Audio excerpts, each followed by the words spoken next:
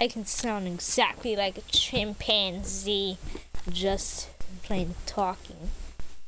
This is not edited one bit.